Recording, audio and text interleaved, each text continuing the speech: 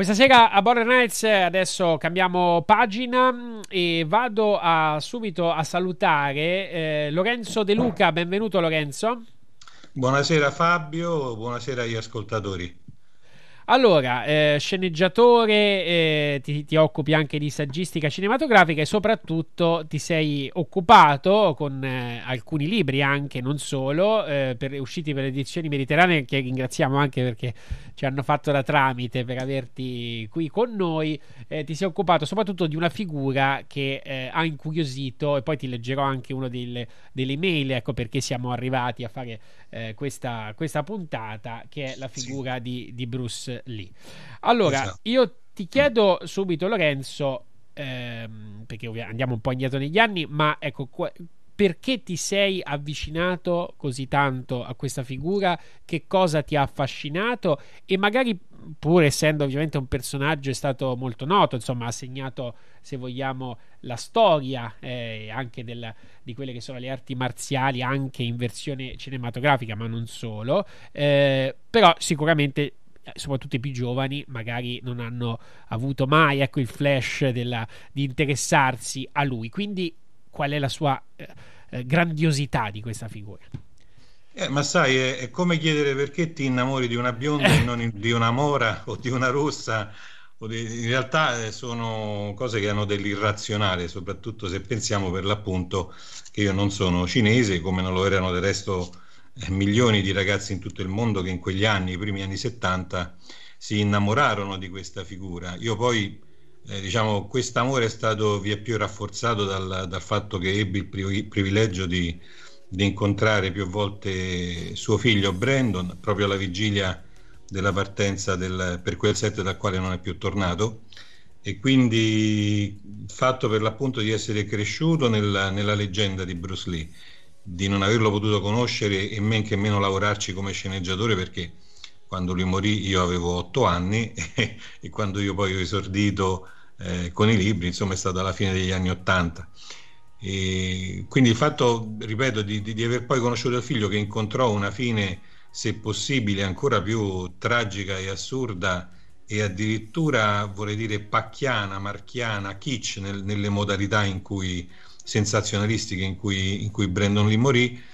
ha rafforzato quello che secondo me è stato, secondo me è eh, un'opinione, un enigma a doppio filo mai chiarito, per cui potremmo dire che Bruce e Brandon Lee, due vite un mistero. Poi se mi chiedi il motivo specifico della, della mia fascinazione eh, per Bruce Lee, è, beh, insomma, Bruce Lee ha rappresentato, non dimentichiamo che all'epoca il mondo era ancora molto diverso da come era oggi, c'era ancora la guerra fredda, c'era la contrapposizione fra il pensiero orientale ed il pensiero occidentale, la contrapposizione anche politica. E sebbene Bruce Lee fosse americano di nascita, fu però poi percepito, fu portatore per la sua breve vita di, di questa eh, dicotomia contraddittoria, era percepito da noi come un cinese, ma dai cinesi come un americano, comunque come un qualcosa di semi-alieno, perché aveva per l'appunto eh, una, una, nascita, una primogenitura americana, perché era nato a San Francisco il 27 novembre del 40, mentre i, i, genitori erano temporaneamente negli States, perché il papà di Bruce era un noto attore del cinema e del teatro cantonesi, quindi era in tournée. Ma poi tornò a Hong Kong, quindi crebbe a Hong Kong che era all'epoca, come sappiamo, non cinese, era una colonia britannica, eh, anche se poi in realtà era cinese nella, nella, cultura e nella popolazione che al 98% era per l'appunto eh, cinese, ma poi dopo riemigrò nuovamente in America e in più pare che nelle sue vene scorresse una percentuale per quanto eh, piccola di sangue eh, inglese. Qualche volta si, si, si, è detto, correva la leggenda che avesse nelle, nelle vene sangue tedesco per via di un antenato, un nonno, una bisnonna, non si è mai ben capito. anche in un film piuttosto brutto fatto recentemente, Bruce Lee La grande sfida, Birth of the Dragon, è, è stata detta questa battuta, c'è una scena in cui lui dice di essere vittima di una sorta di xenofobia al contrario da parte dei suoi stessi eh, amici di, di, di, della scuola di Hong Kong, della palestra di Hong Kong, perché era di sangue tedesco. In realtà non esiste nulla che lo provi, esiste al contrario un documento il documento dell'ufficio immigrazione americano nel quale la madre di Bruce Lee dichiarò di essere, Gresso che era un'eurasiatica, dichiarò di essere per parte di madre inglese. Quindi questo strano melange di, di, di razze, razza è una brutta parola, ma diciamo di etnie, questa, questa mistura di radici sia, sia, di sangue che di cultura, per cui nasce in America, cresce a Hong Kong che è britannica e cinese, eh, ma in realtà ha sangue inglese nelle vene e forse anche lontanissime percentuali di sangue tedesco o olandese, benché mai dimostrate, sembrava quasi che Bruce Lee fosse stato, eh, per usare un brutto termine, fabbricato affinché un domani, molto lontano nel tempo, diventasse poi in effetti l'unico, anzi il primo ambasciatore di una cultura a noi ignota, capace di comunicare proprio in virtù di questa sua eh, multirazzialità implicita con eh, il pubblico di ogni parte del mondo e di ogni latitudine, fra cui anche l'Italia dove, lo ricordo, i film di Bruce Lee uscirono a partire dal marzo del 1973 eh, con Dalla Cina con furore, seguito poi nell'aprile del, sempre del 73 dal Furore della Cina colpisce ancora, seguito infine dal, dai tre dell'Operazione Drago, che fu il suo ultimo film, uscito da noi eh, tra la fine del 73 e i primi del 74 su scala nazionale, e quindi poi dal suo terzo film, che in realtà uscì per ultimo, perché tutti i film di Bruce Lee ebbero una distribuzione sfalsata in Occidente. Uscirono in ordine contrario a come erano usciti in Oriente e l'ultima a uscire fu L'urlo di Cen terrorizza anche l'Occidente, che anche in America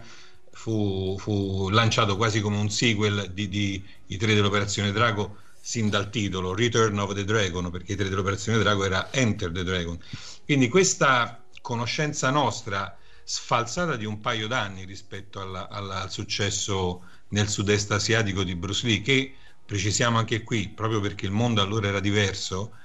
non uscì mai in Cina, cioè il paese più propriamente cinese, la Repubblica Popolare Cinese, fu paradossalmente quello che non ebbe modo di conoscere Bruce Lee, poiché, come sappiamo, a causa della, della dittatura del regime comunista di Mao Zedong, i film d'arti marziali in generale e i film realizzati a Hong Kong in particolare, anche i film con Bruce Lee dunque, erano censurati, cioè erano messi al bando, non potevano essere visti da, dalla popolazione cinese che infatti conoscerà Bruce Lee solamente molto molto dopo di noi, all'inizio degli anni Ottanta, innamorandosene anche lì, tant'è che poi fabbricarono anche loro eh, un loro Bruce Lee costruito a tavolino, Jet Lee, che fu lanciato per l'appunto eh, Jet Lee con, no, con lo slogan il Bruce Lee pechinese,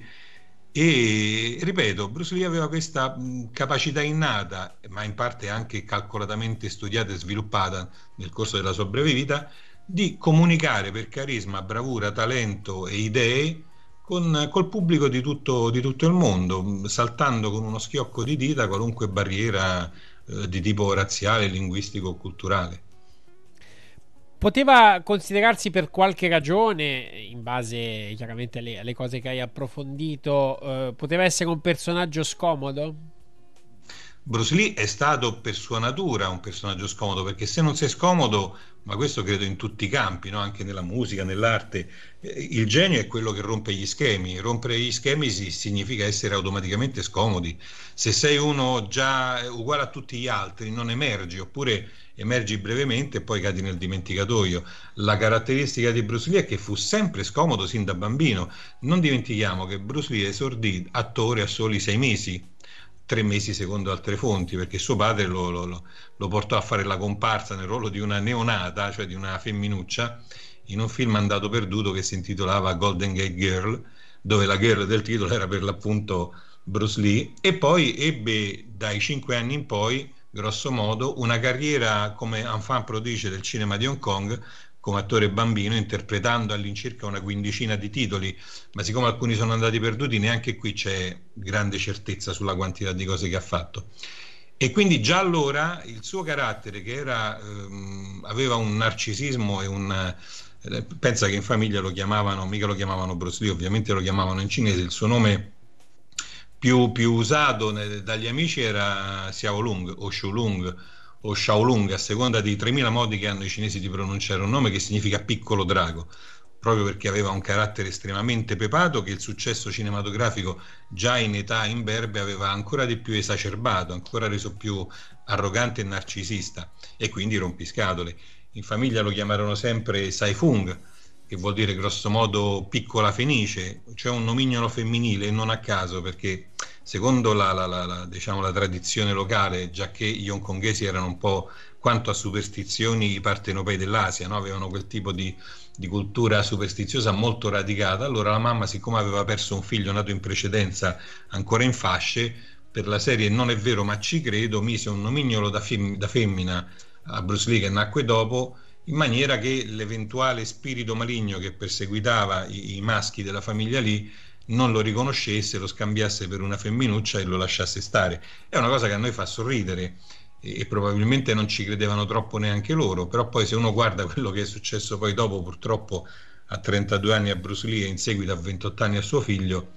eh, insomma è, un pensierino ce lo fai. Comunque, per tornare alla tua domanda, Bruce Lee era un rompiscato e scomodo in tutti i sensi, lo fu poi quando andò a scuola, frequentò varie scuole a Hong Kong, dalle quali veniva puntualmente espulso perché era ribelle, era qualcosa di molto simile, oggi lo chiameremmo bullo, ma comunque era qualcosa di molto simile al delinquente di strada, perché aveva questa caratteristica, pur essendo di famiglia benestante, perché lo ripeto, il papà era un attore eh, discretamente noto e apprezzato, quindi Bruce Lee visse e crebbe in una famiglia facoltosa dove aveva anche altri due fratelli e due sorelle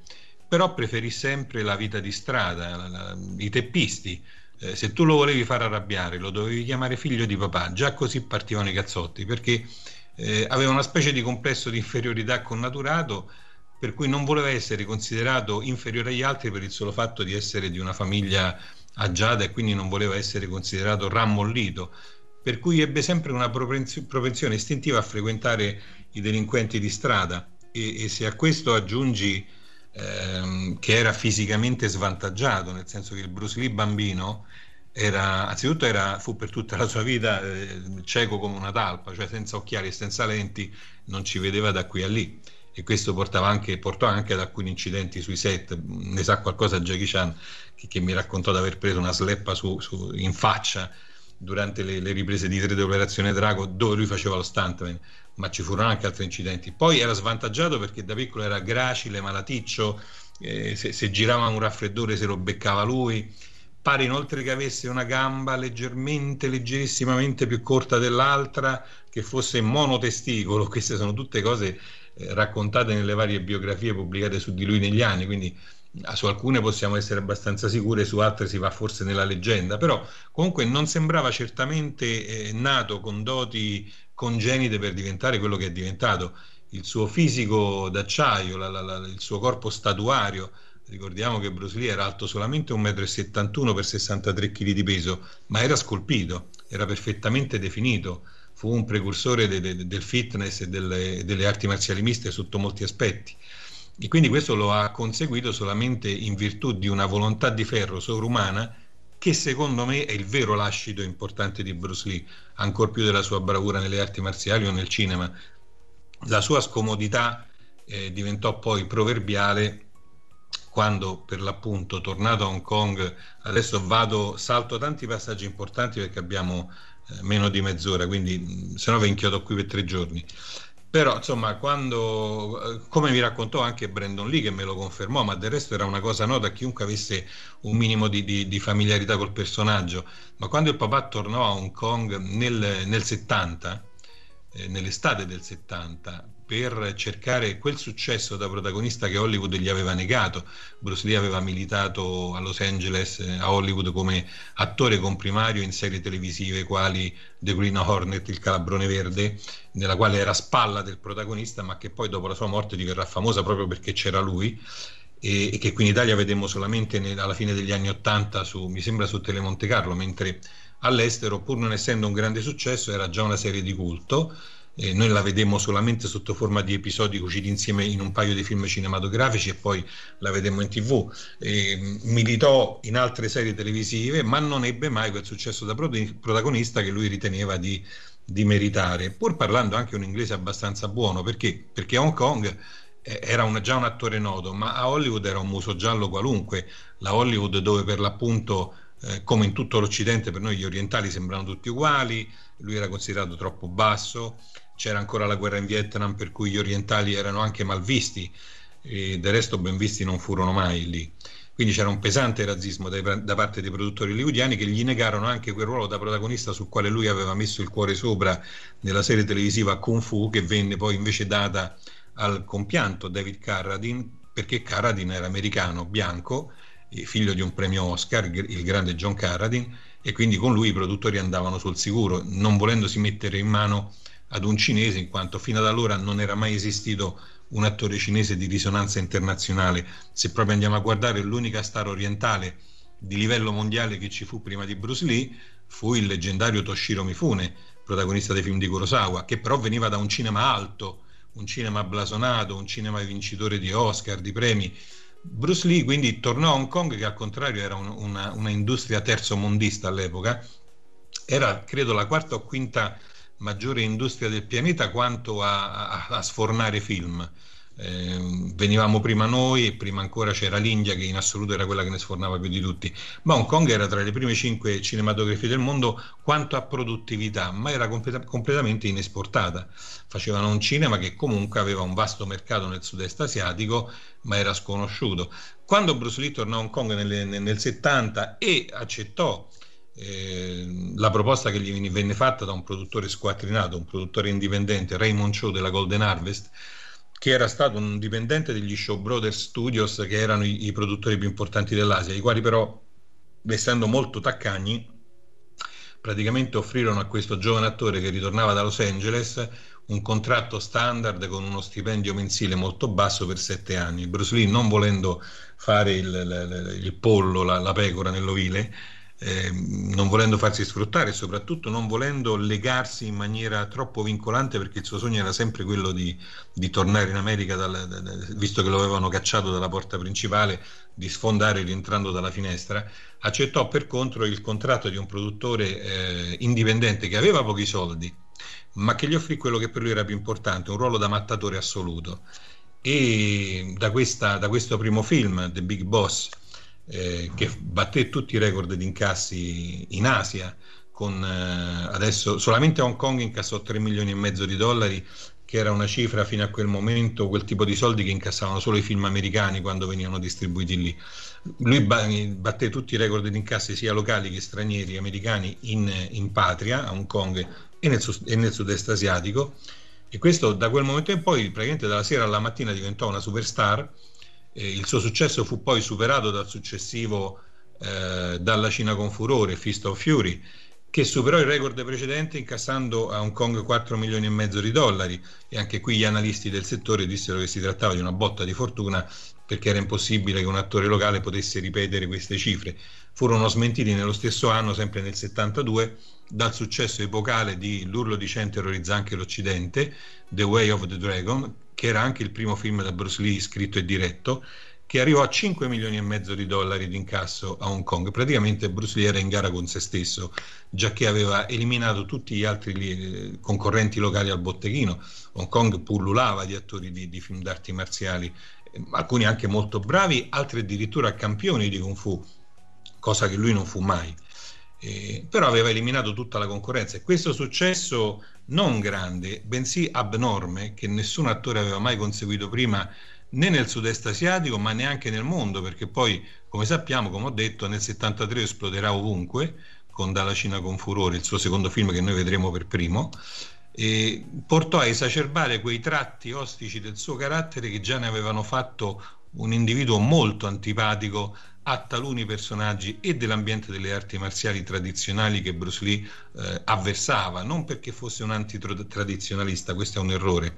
eh, che spesso leggo su internet e nei libri, lui non è che fosse contro le arti marziali tradizionali, al contrario riteneva che chi volesse apprendere queste discipline dovesse avere una base tradizionale, però poi mh, era andato in un'altra direzione, aveva innovato inventando un suo concetto di arte marziale, mai chiamarlo stile perché Bruce Lee era contro gli stili, i dogmi e i settarismi, il Jeet Kune Do, ossia la via per, per intercettare un pugno, che era anche il titolo di un bel telefilm che lui interpretò in America nel 71 e che volendo lo si trova in rete, forse la sua migliore interpretazione, anche se poco nota perché non uscì al cinema, da noi era una cosa televisiva che uscì solo in America e che qui, anche qui abbiamo visto molti anni dopo. E lui quindi andrò, andò in quest'altra direzione, in una nuova concezione più moderna delle arti marziali e soprattutto del Kung Fu, che lui non riteneva uno sport e pertanto non gareggiò mai nelle competizioni e quindi qui eh, rispondo in anticipo anche a eventuali contestazioni che spesso ancora oggi vengono sollevate da persone che dicono era solo un attore perché non ha mai combattuto, non ha mai vinto trofei. Allora Bruce Lee ha combattuto fuori dal ring perché Hong Kong era, mh, oggi lo sappiamo, all'epoca lo si sapeva di meno perché mh, era anche una questione legale. A Hong Kong c'erano i combattimenti clandestini fra allievi di scuole diverse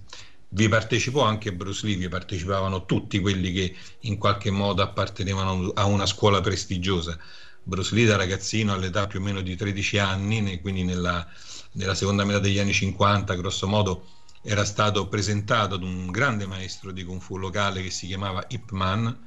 Eh, entrò, fu accettato nella scuola sostanzialmente perché Ip Man aveva bisogno, sapendo che Bruce Lee era un attore bambino già molto noto,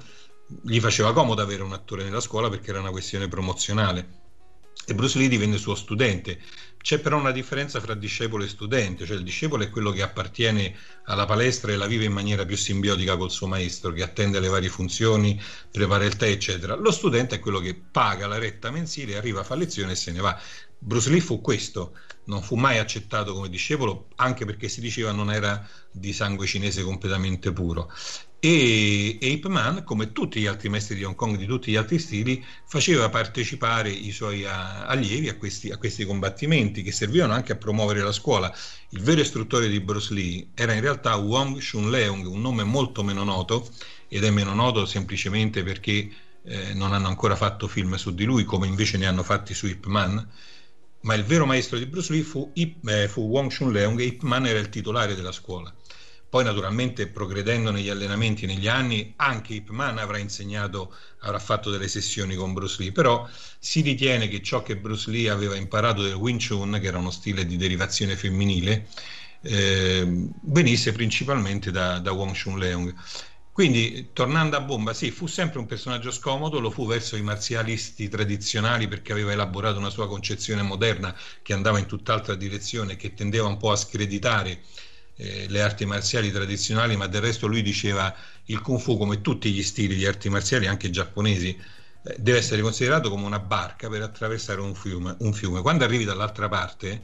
non ti carichi la barca sulle spalle, la molli e prosegui in un'altra direzione. In questo senso sì, era antitradizionalista, ossia nel non lasciarsi sclerotizzare dalla ripetizione infinita di una formula. Fu scomodo per le triadi, per la mafia cinese di Hong Kong, quelle che i cinesi chiamano Hung,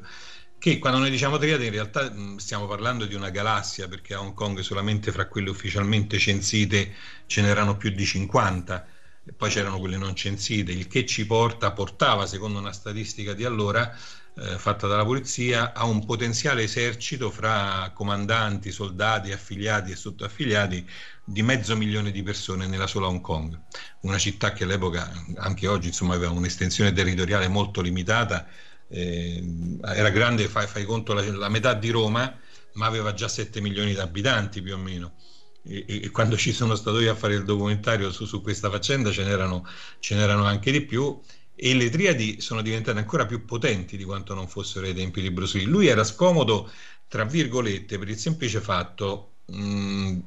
si dice, però a me, ripeto, è stato detto a Hong Kong, quindi io non ho la prova provata.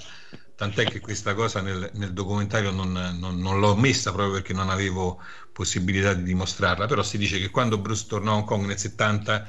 avendo lui fatto parte da giovane di una banda di strada che poi comunque eh, le bande di strada costituivano un po' il bacino, l'allevamento dal quale poi eh, nascevano quei futuri delinquenti. Difatti Bruce Lee stesso diceva non fossi diventato un attore sarei un gangster, perché purtroppo il suo temperamento era stato quello. Allora si diceva che lui avesse dovuto in un certo senso chiedere il permesso per poter tornare tramite interposta persona, ossia tramite il suo amico, defunto anche lui oggi, Unicorn Chan, Chan Chiling, che era anche lui un, un, attore bambino che aveva conosciuto Bruce Lee sul set, poi erano rimasti amici nel corso degli anni e quando Bruce decise di tornare a Hong Kong fu proprio Unicorn Chan a portare le sue foto in giro ai vari studios, a preparargli un po' il terreno per il ritorno. Quindi si dice che lui abbia dovuto chiedere permesso per poter tornare a lavorare lì anche a chi manovrava il cinema da dietro, ma Bruce Lee non fu mai un affiliato delle, tir- delle Triadi non solo per una questione sua caratteriale, perché era piuttosto refrattario a prendere gli ordini da chiunque, anzi semmai era uno che gli ordini gli dava e era mm, facilmente alzava le mani, era molto manesco purtroppo anche nella vita.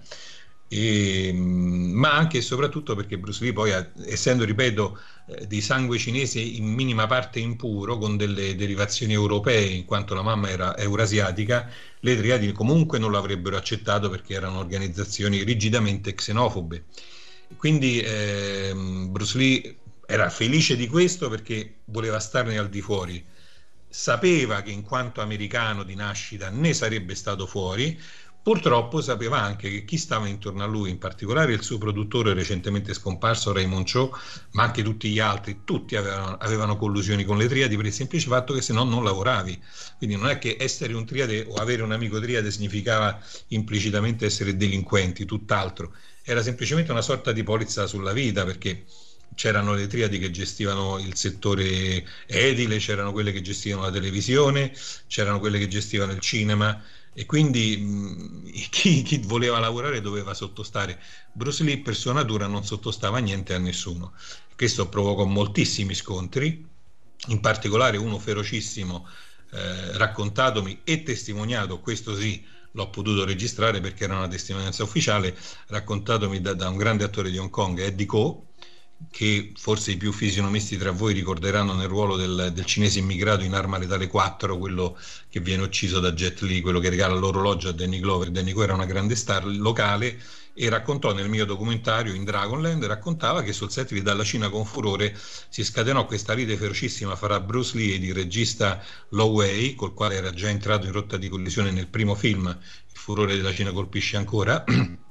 perché Bruce aveva scoperto che mentre lui girava la famosa scena in cui Chen entra da solo nella palestra dei giapponesi che hanno in precedenza oltraggiato i cinesi durante un funerale e li sfida e li malmena tutti quanti, mentre lui girava questa scena che era molto impegnativa, perché c'era lui contro 20 persone, poi lui se la coreografava da sé, perché aveva ottenuto anche questo in virtù del suo status di, di star e del suo carattere molto scomodo, cioè di coreografarsi da solo il regista stava ascoltando alla radio una cronaca delle corse dei cani e dei cavalli perché Lowey era malato di ludopatia, quella che oggi chiamiamo ludopatia, era un, uno che scommetteva in continuazione e perdeva grosse cifre al gioco d'azzardo. Quando Bruce Lee si accorse che Lowey invece di controllare la scena in qualità di regista aveva un auricolare all'orecchio e seguiva le, le cronache delle, delle, corse alla radio e Bruce Lee se ne accorse perché Lowey cominciò ad imprecare lui si fermò il set, credette di aver sbagliato lui come attore ad eseguire la scena, invece Lowey gli disse no no è tutto a posto, è che solo che ho perso una scommessa,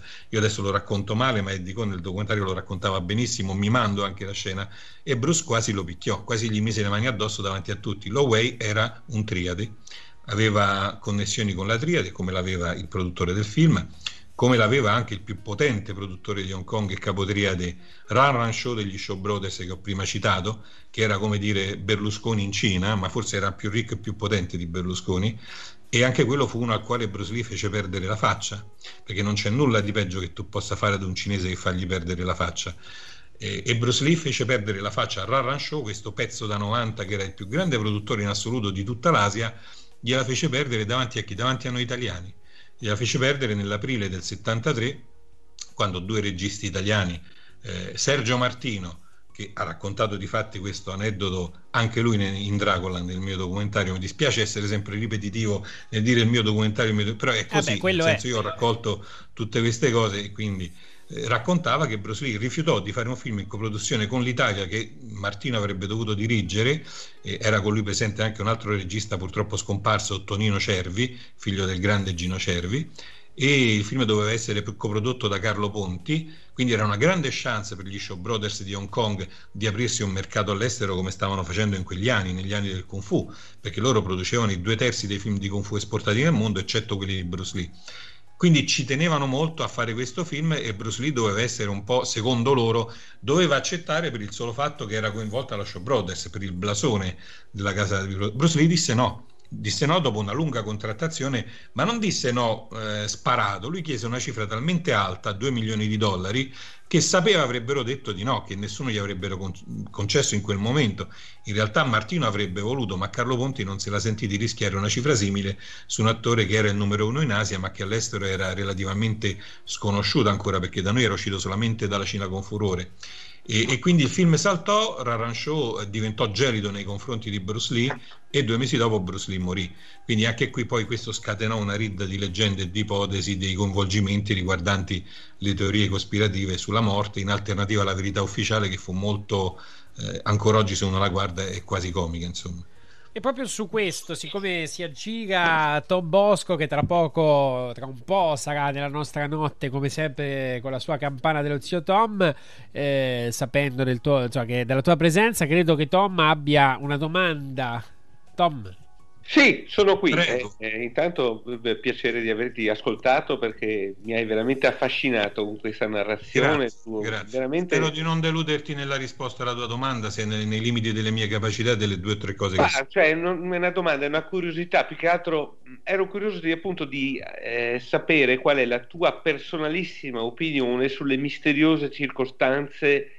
della morte di Bruce Lee e in seconda battuta um, vorrei sapere appunto dal punto di vista eh, della disciplina, dell'atletico, eh, Bruce Lee è stato davvero quel, quell'innovatore, quell'icona che tutti magari ci prefiguriamo o forse è stato forse sopravvalutato? Ecco, allora, ti rispondo prima alla seconda domanda che è la più facile da, da, da toglierci sì. dai piedi. Allora, Bruce Lee è stato effettivamente un fenomeno eh, atletico oggettivo. Come ho detto prima, non gareggiava nelle gare sportive perché non riteneva il Kung Fu uno sport, ma riteneva eh, il suo Kung Fu un'arte marziale aggressiva e micidiale da usarsi per autodifesa, ma eh, praticamente troppo pericolosa da usarsi in un, contesto, in un contesto reale, perché lui non credeva nelle regole, non credeva nei tornei e pertanto non si esibiva, perché diceva giustamente in un torneo tu non puoi colpire una persona negli occhi o ai genitali, perché finisci in galera o quantomeno oppure finisci in prigione per omicidio colposo. Tuttavia, tuttavia la, sua, la, sua, efficacia, la sua effettiva preparazione è testimoniata non da un Lorenzo De Luca qualsiasi, perché i libri che ho scritto io, dire, ci stanno tanti libri nel mondo, no? ma eh, quasi nessuno ha conosciuto, degli autori ha conosciuto Bruce Lee. La sua reale efficacia in quel senso è testimoniata dai campioni del mondo di arti marziali che negli anni 60 quando Bruce Lee non era ancora Bruce Lee, cioè quando era sconosciuto, si allenavano con lui ed ambivano ad allenarsi con lui, gente del calibro di Chuck Norris, che poi Bruce Lee stesso lancerà nel cinema, gente del calibro di Joe Lewis, meno noto di Chuck Norris perché non ebbe molto successo come attore, ma notissimo nel, nel circuito delle arti marziali internazionali, era una leggenda vivente del karate e anche lui era stato allievo di Bruce Lee. Eh, un altro personaggio che testimoniò la reale potenza di Bruce Lee fu Luis, Del, Luis Delgado, che era un campione di arti marziali americano che aveva vinto non si sa quanti tornei e lui dichiarava, si trovano tuttora le dichiarazioni in rete, diceva anche se io ho vinto molti tornei, sinceramente ogni volta che mi alleno con Bruce sono in soggezione perché so di non essere alla sua altezza. La sua mh, potenza era testimoniata anche da altri istruttori, John Ree, il padre del taekwondo americano, Cinanjai, che era un famoso maestro di coreano che poi partecipò anche al suo film incompiuto Game of Death. Quindi quelli che dicono che Bruce Lee era solo un attore o mentono sapendo di mentina o di mentolo o semplicemente sono poco informati o sono in malafede. Naturalmente questo non vuol dire che Bruce Lee fosse invincibile, nessuno lo è, quindi certo. eh, questo no. Però dire che fosse solo un attore Peraltro, e, qui chiudo il capitolo Bruce Lee atleta, quando io stesso andai a Hong Kong a intervistare un sacco di personaggi leggendari che da ragazzino avevo visto al cinema e quindi mai mi sarei aspettato di incontrarli dal vivo. Io sapevo che questi praticavano il kung fu tradizionale e che quindi probabilmente eh, vedevano Bruce Lee col fumo negli occhi proprio perché era stato un innovatore che andava contro le tradizioni ed aveva avuto più successo di tutti. Viceversa, scopersi nelle interviste che tutti lo ammiravano, nel senso che nel tempo il loro giudizio su, su, di lui si era ricreduto ed era stato corretto, perché non puoi fare quelle cose sullo schermo se non hai una reale preparazione molto solida anche nella vita. Dopodiché, ripeto, Bruce Lee non gareggiò mai perché non considerava il Kung Fu uno sport e non puoi fare una gara se non obbedisci alle regole. Certo. Per quanto riguarda l'altra domanda, la, la, morte di Bruce Lee, che qui mi dovrò dilungare qualche minuto in più se Fabio me lo concede. Certo, certo. Se c'è tempo. Anche se vuoi, eh. anche se vuoi puoi anche fare alcuni paralleli col figlio se, se tieni, eh? Sì, sì. Se, se, mi concedi il tempo, sì, perché i paralleli purtroppo emergono da sé anche se io non volessi farli. E non c'entra proprio nulla il fatto che io abbia conosciuto Brandon. Emergerebbero anche se te la raccontasse uno che, che, che ha semplicemente letto delle cose. Allora, eh, la versione ufficiale della morte di Bruce Lee fu di eh, un aneurisma, un edema cerebrale, un'emorragia scatenato da un'aspirina. Ora, che l'uomo più forte del mondo, che ovviamente non era vero, ma era la formula la, la, con la quale la stampa lo lanciava, eh, il campione de, de, de, della forza fisica, allora delle arti marziali, della salute, perché era anche un salutista, morisse ucciso da un'aspirina, sinceramente, superata l'umana pietà, faceva ridere. Il motivo di questa versione, almeno secondo, secondo quanto ho ricostruito io, è che eh, dovete sapere che all'epoca Hong Kong aveva il secondo corpo di polizia più corrotto al mondo dopo quello di Los Angeles, quindi non era impossibile per chi ne avesse i mezzi inquinare un'indagine. Le indagini furono fatte, mentre per esempio oggi ci sono voluti due anni in tempi recenti, con tutti i progressi che abbiamo avuto per sapere come era morto Michael Jackson, all'epoca occorsero solo due mesi per sapere come era morto Bruce Lee, dopo che per settimane e settimane non si era saputo nulla perché brancolavano nel buio. Praticamente accade questo, che eh, il, il, giorno della sua morte Bruce Lee eh, andò insieme al suo produttore a casa di, di un'attrice, o meglio di una donna eh, giocatrice d'azzardo, alcolista, tossica, escort di, mia, di, mafiosi e a tempo perso anche attrice, che si chiamava e si chiama perché è tuttora viva eh, Betty Timpei che era ritenuta la sua amante, ma del resto era stata amante di mezzo cinema di Hong Kong, quindi non c'era nulla di strano. Costei però era anche la donna di un eh, noto boss triade, Charles Heung, che era il figlio del capo della Sun Yi-on, che era la triade che governava il cinema di Hong Kong. Va bene, dettaglio marginale eh, per il momento. Eh, a un certo punto vanno a casa di Betty Timpei, lui con il suo produttore Raymond Cho per discutere del film che poi purtroppo resterà incompiuto Game of Death a una certa ora, eh, presumibilmente verso le 6 o giù di lì, perché sugli orari non c'è mai stata concordanza, comunque Raymond Cho abbandona e va al ristorante Miramar eh, che era un ristorante dove usualmente si, si, tenevano cene di lavoro per gente dello spettacolo, dove li aspetta George Lazenby, che era stato uno 007 in un solo film, però si campava ancora di rendita sulla fama di quel film di 007 e doveva prendere parte in questo film in preparazione di Bruce Lee, Game of Death. Bruce rimane solo con Betty Timpei. A questo punto tutto ciò che abbiamo è la dichiarazione di questa donna che, dati i suoi trascorsi per l'appunto come alcolista, tossica, giocatrice d'azzardo ed accompagnatrice di uomini triadi, non era esattamente il massimo della credibilità, il che non vuol dire che abbia mentito, però insomma qualche domanda uno se la fa. Lei racconta che Bruce lamentava una fortissima emicrania e che lei non avendo altro in casa gli diede una tavoletta di Equagesic che era un medicinale, un antibiotico comunissimo, eh, solo quell'anno ne furono vendute un milione di scatole senza nessun effetto collaterale né morti. Bruce le chiese di sdraiarsi, così dice lei, eh, per riposare una mezz'ora e poi per raggiungere al ristorante Raymond Cho e George Rezenby che li aspettavano e, quando lei dopo una mezz'ora, presumibilmente verso le sette, sette e mezza, andò, andò, a svegliarlo, ovviamente lui non si svegliò più. E allora il genio, eh, Betty Timpei, non chiama l'ambulanza, no, chiama eh, Raymond Cho che sta al ristorante. Raymond Cho torna, e non esistendo il teletrasporto si presume che ci abbia impiegato un bel po', torna a casa di Betty Timpei trova anche lui Bruce Lee in stato comatoso, i due geni non chiamano l'ambulanza, chiamano un medico curante generico, il dottor Chu Wie, scomparso recentemente, che per tutta la sua vita non rilascerà una sola intervista in merito, era considerato il medico delle star e dicono, ma insomma questa è solo una diceria, anche quello che riforniva un po' di, di sostanze eh, stuporose, stupefacenti in maniera illegale gli attori e le attrici che ne avessero bisogno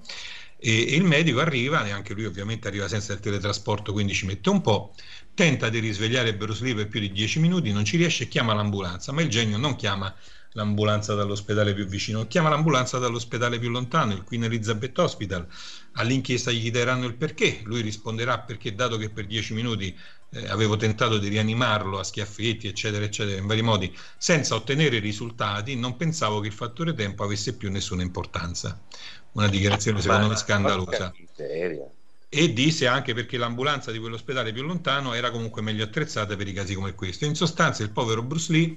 eh, arriva all'ospedale e viene dichiarato dead on arrival, morto all'arrivo, comunque fanno i tentativi di rianimarlo ma non ci riescono e intorno alle 10 e mezza 11 insomma viene dichiarato morto. Per cui se diamo retta alla versione ufficiale che ho malamente grossolanamente raccontato e me ne scuso ma è per non tenervi tre giorni inchiodati qui che ve l'ho messa, messa corta se diamo retta a quella versione eh, è trascorsa più di un'ora, fra, anche due, fra quando Bruce Lee eh, è stato notato che si sentiva male a quando è stato portato in ospedale. E quindi per un uomo in quelle condizioni credo che un'ora, due ore siano, siano un, tempo, un tempo enorme. Tra l'altro il fisico di Bruce Lee che era fortissimo, ma era forte proprio interiormente, aveva lottato, cioè non è che lui morì rimase a lungo in questo stato. Probabile che se lo avessero soccorso in mantinente forse si sarebbe salvato perché due mesi prima, mentre era al doppiaggio di tre dell'Operazione Drago, ebbe un collasso, eh, andò in bagno e non tornò, quindi andarono a, cercarlo e lo trovarono a terra che era colto da degli spasmi, una specie di collasso eh, epilettico. Ma fu portato immediatamente, subito proprio all'ospedale più vicino e lo salvarono, nel senso che lo ripresero per i capelli, eh, avevano notato che gli si era gonfiato il cervello facendo i dovuti esami, mh, mm, gli somministrarono una sostanza atta a ridurre il gonfiore e Bruce Lee si salvò. E poi una volta rimesso si andò in America a fare un check-up perché non si fidava della sanità locale e non si fidava della sanità locale perché Bruce Lee sapeva di avere molti nemici potenti sparsi in giro a Hong Kong, quindi non voleva scherzetti. Andò in America a fare un check-up e dal check-up non risultò assolutamente nulla. I medici gli dissero che era un 32enne col fisico di un 18enne e che qualunque cosa lo avesse colpito a Hong Kong non ce n'era più la minima traccia. Quindi non seppero neanche loro giustificare eh, questo malore.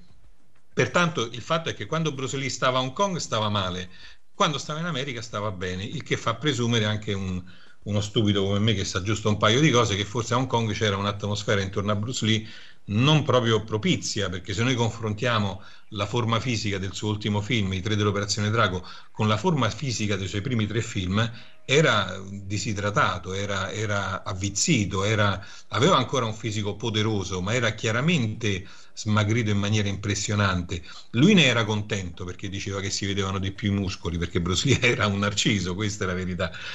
però probabilmente c'era qualcosa che non andava. È un maestro che lo conosceva, Chu Chi-ling, che è anche un attore apparso nei film di Jackie Chan, ha lavorato un po' con tutti. Nel, e torno a autocitarmi, ma purtroppo è così perché non mi risulta che esistano altre, altre fonti. Nel documentario che realizzai, che realizzai a Hong Kong Dragoland racconta che secondo lui, e questa è un po' una tesi se vogliamo poetica, romantica, il motivo della morte di Bruce Lee sta nel fatto che non avendo più tempo per allenarsi correttamente il suo fisico via via eh, era come una macchina sempre in funzione finché non fa tilt e quindi si stava gradualmente riducendo, eh, disidratando perché aveva bruciato tutti i liquidi, aveva bruciato tutti i grassi, c'era qualcosa che non andava. Però poi se diamo retta ai medici americani dissero che Bruce Lee non aveva assolutamente nulla, il che diede poi la stura alle varie teorie cospirazioniste, come si dice oggi all'epoca, si diceva semplicemente buonsenso, che chiamarono in causa eh, avvelenamento perché Bruce Lee comunque che stava da solo in casa con Betty Timpei è quello che, lo, che disse lei. Poi in realtà c'è chi disse che andò anche altra gente e qualcuno sentì anche rumori sospetti. Comunque l'indagine non fu molto approfondita per settimane e settimane eh, praticamente Bruce Lee venne sepolto in America che ancora non si sapeva di che cosa era morto venne sepolto a Seattle e, e aveva avuto un funerale pubblico a, a, Hong Kong, mi sembra il 25 luglio, lui morì il 20 luglio del 73, il funerale, se non ricordo male, vado a memoria, fu il 25 luglio a Hong Kong il funerale pubblico con migliaia di persone nelle strade. E, e, ancora non si sapeva di che cosa era morto. E questo portò a dei tumulti di piazza perché poi non dimentichiamo che i fans di Bruce Lee, soprattutto a Hong Kong, non erano dei raffinati cinefili intellettuali o studenti universitari con la sciarpetta intorno al collo come qui in Italia in quegli anni che andavano a vedere i film di Antonioni. erano per la maggior parte ragazzi di strada, se non proprio delinquenti, persone semplici, insomma, appartenenti al, al ceto medio, medio o decisamente basso del proletariato,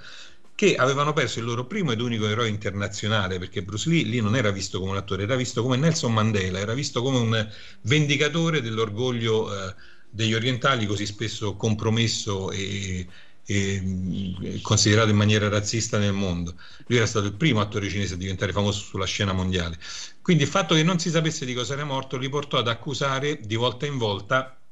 chi Run Show, perché aveva negato con, la, con la sua, col suo rifiuto di fare quel film in coproduzione con l'Italia, aveva, aveva messo in difficoltà, fatto fare una brutta figura a questo produttore che essendo un triade potentissimo poteva averlo avvelenato. Questa versione,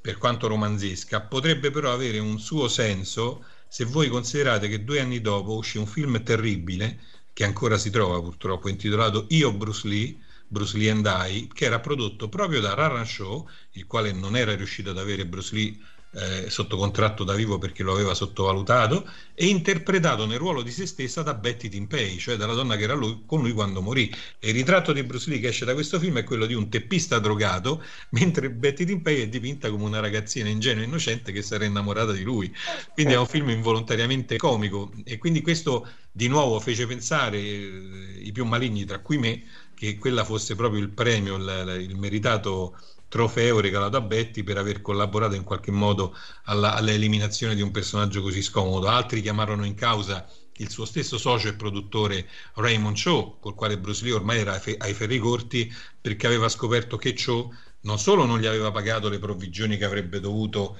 in base al successo di L'urlo di Cen terrorizza anche l'Occidente, del quale Bruce Lee era coproduttore, come fu coproduttore anche di Tre Operazione Drago, ma aveva investito, riciclato nella faccenda soldi sporchi delle Triadi, che voleva investire anche nel film che Bruce Lee stava preparando in quel momento, Game of Death, quello che noi avremmo visto solamente cinque anni dopo in versione rimaneggiata e completamente apocrifa col titolo L'ultimo combattimento di Chen. Quindi si dice che Bruce Lee fosse entrato in rotta di collisione anche col suo produttore, minacciasse di denunciarlo, tra l'altro Bruce Lee, Bruce Lee stava per tornare in America dove di lì a un mese sarebbe uscito i tre dell'Operazione Drago destinato a trasformarlo in una star di Hollywood ed è facile che dall'America poi avrebbe fatto chiamare dagli avvocati al suo socio. E quindi molti accusavano Raymond Cho, poi moltissimi accusavano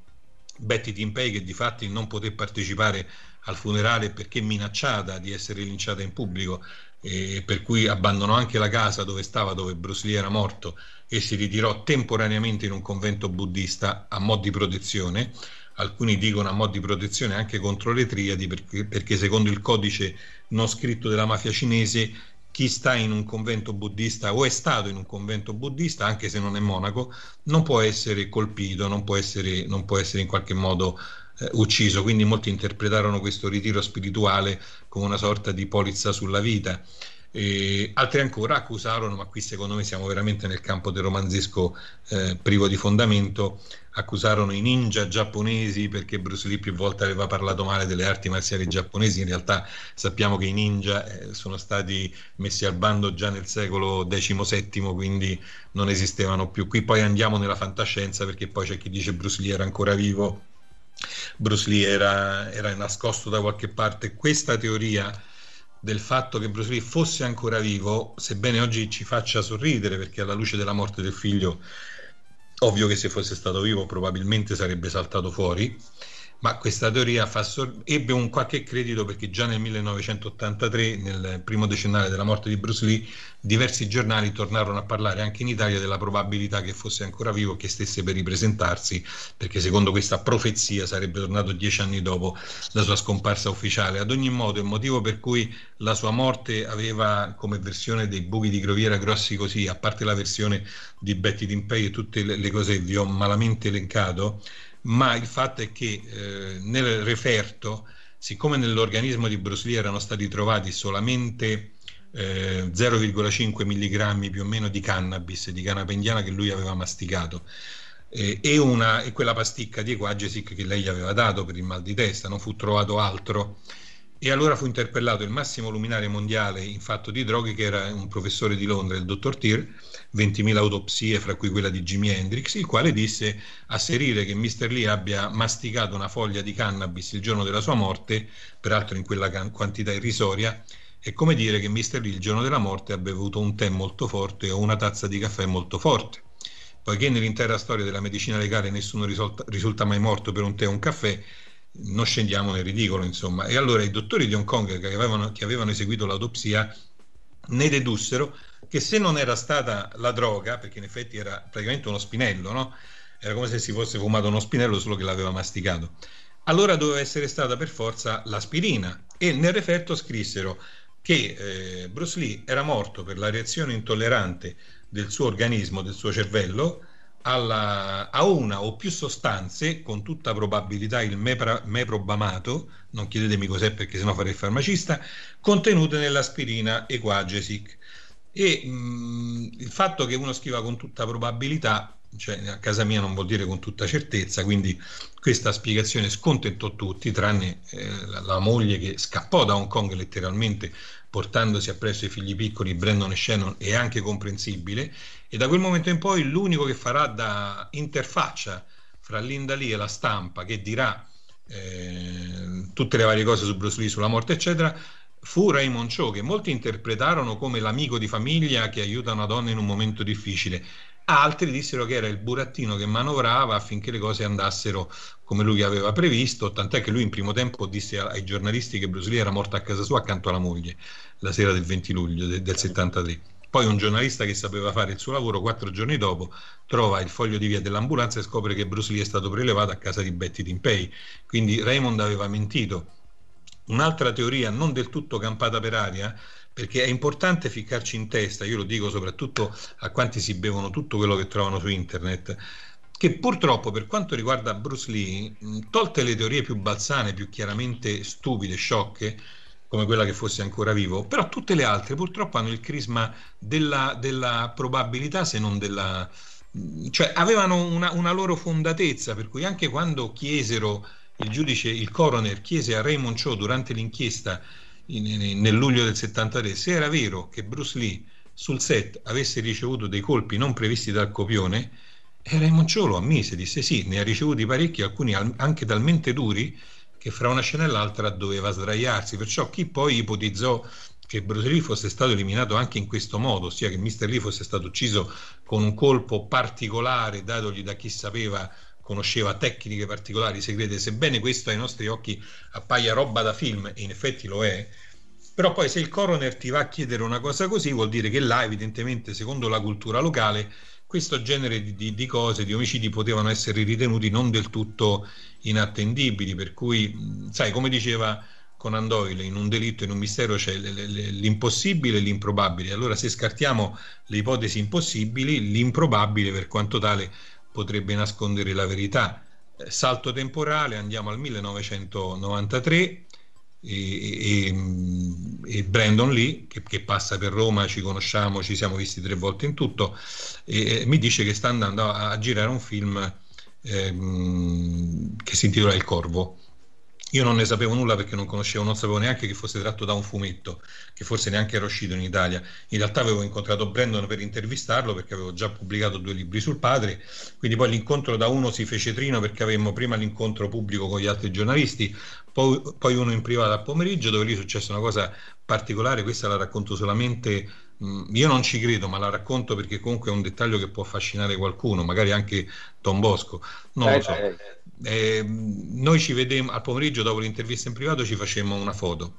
Eh, io, siccome sono tuttora tecnologicamente un disabile, il rullino nella foto me l'ero fatto caricare dal fotografo perché dico io lo carico male sbaglio. All'epoca non esistevano i cellulari, no? quindi si andava ancora con la classica macchinetta, registratorino. Ci facemmo sta foto, poi quando torno a casa mi accorgo che proprio perché l'aveva caricata il, il, deficiente, cioè il fotografo, la foto non era venuta perché il rullino l'aveva caricato male, l'avrei strozzato. E allora dico, vabbè, capiterà un'altra occasione perché avevo consegnato a Brandon un soggetto, Triade Selvaggia, che doveva essere prodotto da Rai 2 interpretato da Franco Nero e io avevo pensato a Brandon come coprotagonista perché in quel momento non essendo un attore famoso era ancora economicamente raggiungibile e lui insomma l'aveva preso con interesse e poi ci saremmo sentiti dopo il Corvo. Beh, sai, sono quelle cose che uno fa, semina. E, e, il giorno dopo tornai però perché la notte non ci ho dormito dico però a me sta... cioè, c'avevo un campanello che mi diceva che io Brandon lì non l'avrei più rivisto. Quindi il giorno dopo, di mattina presto, mi vesto di corsa, era sabato, lui in teoria doveva essere già ripartito, torno di corsa all'albergo a Via Veneto e, e fortunatamente Brandon non se n'era ancora andato e ci facciamo una foto lì nel, nell'ingresso così come stavamo vestiti alla meno peggio. Poi quella foto in fase di sviluppo eh, verrà con un difetto, un taglio di luce, una sorta di lama di luce che cade sulla testa di Brandon in diagonale e quando io qualche mese dopo, cinque mesi dopo, mi telefona una giornalista, purtroppo oggi scomparsa, bellissima e bravissima, che si chiamava Solvi Stubing, alla quale ero mm. legato d'amicizia perché mi aveva, mi aveva aiutato quando avevo pubblicato i primi libri, pubblicizzandoli nella sua trasmissione, e lei mi dice, sai, hanno ammazzato tuo fratello. E lei intendeva dire che siccome per me Bruce Lee era quasi una figura paterna, avendo anch'io perso mio padre giovane, Brandon Lee lo considerava quasi una specie di fratello eh, così, honoris causa. E io non capivo. Poi si sparse la notizia anche sugli organi di stampa e quella foto venuta con quel taglio trasversale di luce sulla, sulla testa di Brandon, purtroppo, siccome la mia cultura è prevalentemente quella poco che ho, letteraria e cinematografica, ripensai istintivamente a un film intitolato Il presagio, The Omen, con Gregory Peck, dove tutti i personaggi destinati a fare una fine violenta eh, nel corso del film avevano scattato in precedenza una foto con un taglio che veniva con un difetto di stampa che praticamente gli tagliava la testa. Era solamente una suggestione, però in effetti se uno va a guardare come è morto Brandon Lee, eh, perché nell'intera storia del cinema nessuno è mai morto per un proiettile vero portato sul set. Ci sono stati incidenti e anche mortali, ma sempre con proiettili a salve. Quello che anche qui molti youtubers che fanno video su Brandon Lee, fatti benissimo, però poi toppano tutti quando, perché gente che non era neanche nato, non ha mai aperto un libro, quando debbono ricostruire una cosa, se non ci hai mai messo piede su un set, non scrivere o non dire certe stronzate. Perché? perché sul set di Il Corvo, una settimana prima della fine delle riprese, quando si dovette girare la scena della morte nella finzione di Eric Draven, interpretato da Brandon Lee,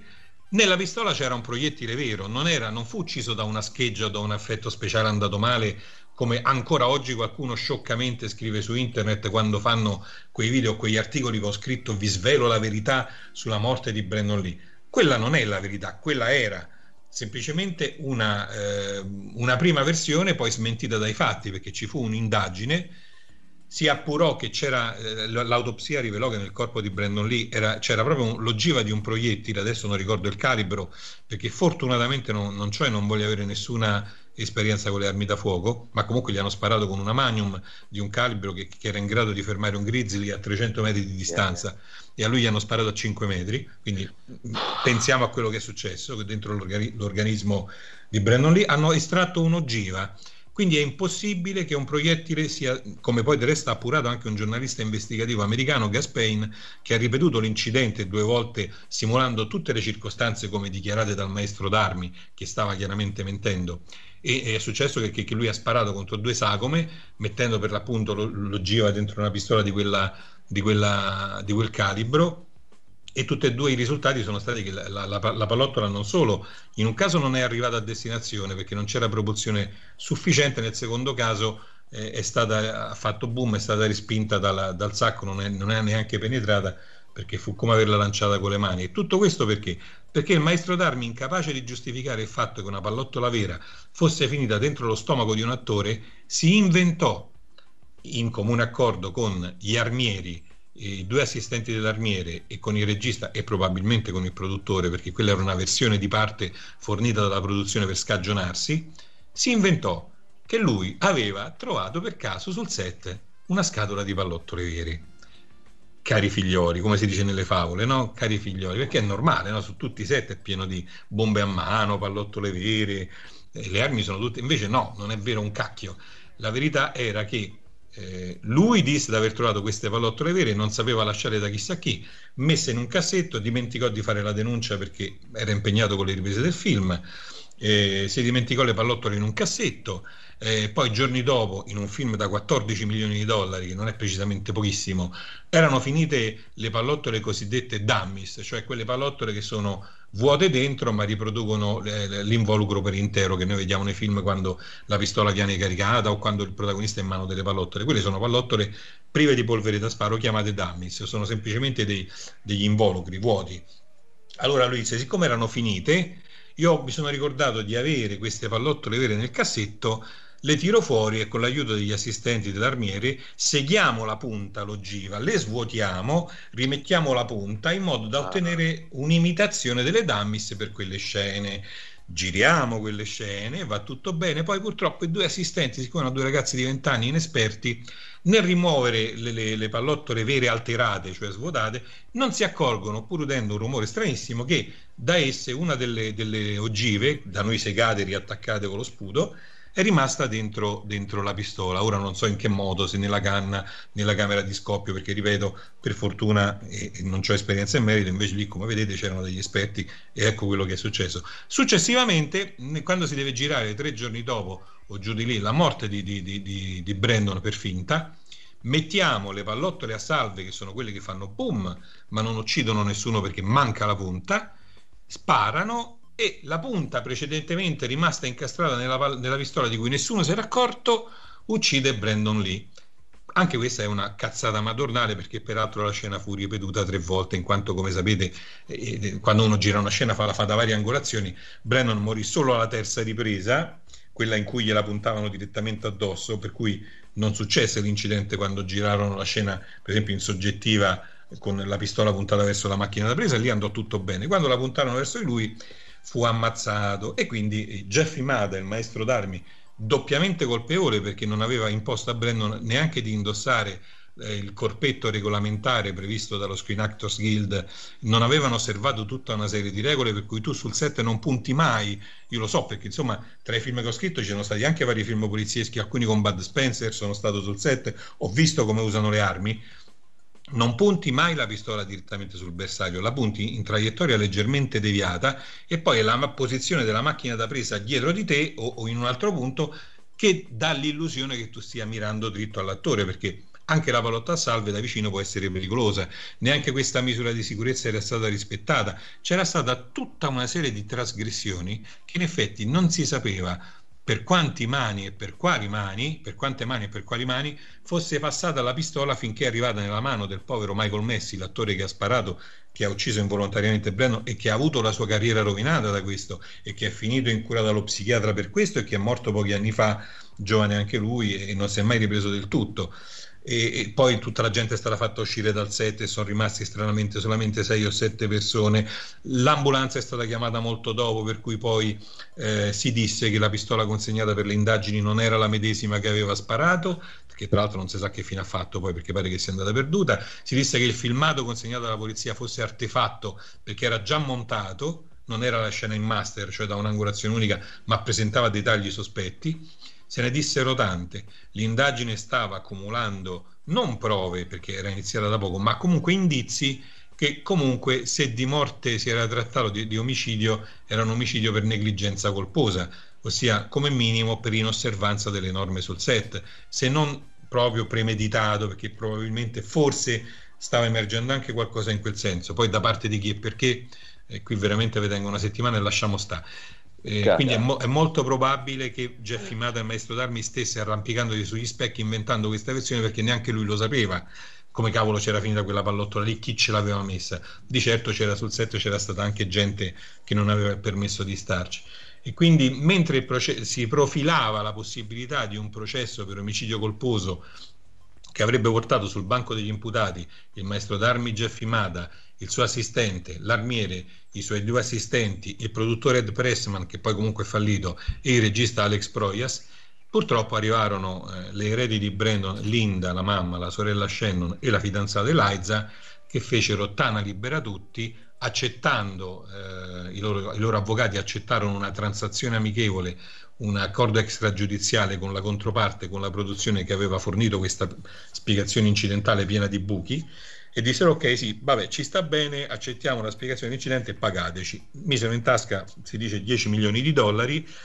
più eh, pare 100 milioni di dollari dalla polizza vita di Brandon e si ritirarono a, a vita privata. Shannon che stava in quegli anni tentando una carriera di attrice e cantante sparì dalla scena e, e, visse da allora in poi felice e contenta gestendo l'immagine del padre, la fidanzata di Breno si risposò, ricca pure lei, la, la, la mamma pure si è ritirata. E, voglio dire, con questo eh, il, il giudice che conduceva, che avrebbe dovuto celebrare il processo, eh, le rimproverò pubblicamente. Disse loro, con questo accordo frettoloso, quantunque nelle vostre eh, prerogative mh, farlo, perché se lo hanno fatto era, era, legalmente possibile, avete però legato le mani all'accertamento della verità perché io non posso più andare a processo, perché non erano ancora emerse sufficienti, sufficienti indizi, prove che potessero poi eh, giustificare una fase processuale, comunque adesso non sono esperto di, di cose forensi, ma per la legge americana evidentemente quell'accordo era possibile farlo, per cui la squadra di avvocati delle eredi di Brennan e la squadra di avvocati della produzione La Carolco si misero d'accordo fuori dal tribunale, negli uffici e sancirono questa cosa, la denuncia venne ritirata, loro bu- buscarono una montagna di soldi, il, pro- il, regi- il giudice lamentò rimproverandole pubblicamente che avevano legato le mani all'accertamento della verità perché di fatti quella che noi abbiamo oggi non è una versione riscontrata da fatti, da un dibattimento processuale, è la versione di parte fornita dalla produzione che ovviamente tendeva a scagionarsi. Quindi quelli che fanno i video, che scrivono articoli dicendo Brandon Lee è morto così, in realtà stanno ripetendo a pappagallo una cosa che non è mai appurata. Dopodiché può darsi anche che fosse stato un incidente che tutta una serie di norme, 36, io ne ho riscontrate di, di, di, di, strane coincidenze, fossero state trasgredite e Brennan fosse morto per una malagurata disgrazia, però insomma si dice che un fulmine non cade mai due volte sullo stesso posto, poi il fatto che morì nel ventennale della ricorrenza della morte del padre e che proprio in quel periodo uscisse Dragon, il film biografico su Bruce Lee che Brennan aveva rifiutato di interpretare, sono tutte cose che hanno rafforzato un po' anche la, le dicerie sulla leggenda, sulla maledizione certo. del drago io non sono uno che ci crede molto alle, alle leggende, però in effetti le, le, le, i dettagli sono talmente incredibili, inverosimili, che fai prima a credere che sia stato ammazzato volutamente, anche perché qui concludo, nel film L'ultimo combattimento di Chen, Game of Death, il film incompiuto di Bruce Lee, che noi avremmo visto poi in forma apocrifa nel 78, in una scena il personaggio eh, fittiziamente interpretato da Bruce Lee, ossia Billy Lowe, che era ovviamente un sosia di Bruce Lee perché Bruce era morto, in una scena viene colpito sul set da una pistolettata sparata da un killer di un'organizzazione mafiosa che si confonde fra le comparse e sostituisce il proiettile vero, il proiettile finto col proiettile vero e gli spara in faccia e lui finge di morire. Quella era finzione, però il fatto che Brandon Lee nella realtà fosse morto esattamente come nella finzione moriva il personaggio, fingeva di morire il personaggio del padre in Game of Death nella stessa identica maniera sul set davanti a tutti con una pallottola vera nella pistola e beh lì poi fu impossibile che, che, e anche tutto sommato era, era, anche logico che molti pensassero che si trattò di un incidente provocato ad arte proprio per somigliare a quel film, proprio per generare eh, un, grande, eh, un grande scandalo, un grande pettegolezzo, una grande serie di ipotesi parallele cospirative e poi generare, generare quel, quel marketing, quel business che il film ebbe perché il Corvo incassò 130 milioni di dollari ed è lecito presumere che li incassò proprio in virtù purtroppo della morte di Brandon Lee in quel modo perché molti, molti, andarono a vederlo convinti che la scena fosse nel film, cosa che non era. C'era, c'era, la, video, la, videocassetta con la scena è stata distrutta per preciso volere della, di Linda Lee e della, della figlia, con la, con la, con la, col pretesto, insomma, con la motivazione che non volevano finisse in mani sbagliate. Quindi fu distrutta una delle prove che forse in un processo avrebbero potuto significare qualcosa, la pistola andò perduta. Che e l'inchiesta pra- praticamente fu stoppata, non ci fu. Certo. Fu un'inchiesta stoppata quasi sul nascere. Dobbiamo Lorenzo eh, chiudere, eh, quindi io lo chiamerei, sembra un po' una sorta di contrappasso, poi dovremmo sentire gli esperti e lo faremo pre- magari anche la prossima puntata di Carpero racconta, domenica magari eh, proviamo a, a, richiederglielo un'altra volta e sentiremo insomma la luce anche delle cose che ci hai detto. Uh... No, non ho capito, ho perso un attimo. Dovremmo sì. sentire gli. No, dico la prossima settimana, domenica prossima, magari proviamo a chiederlo a Carpe Oro, no? a, a girargli magari alcune di queste, mm, di queste riflessioni.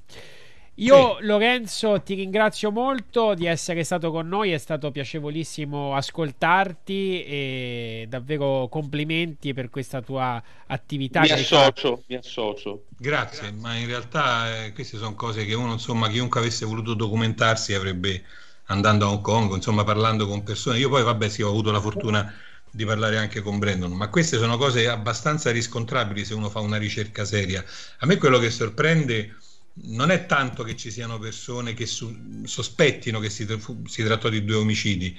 perché la prova provata non l'avremo mai, ma che ci siano i cosiddetti debunkers, le persone che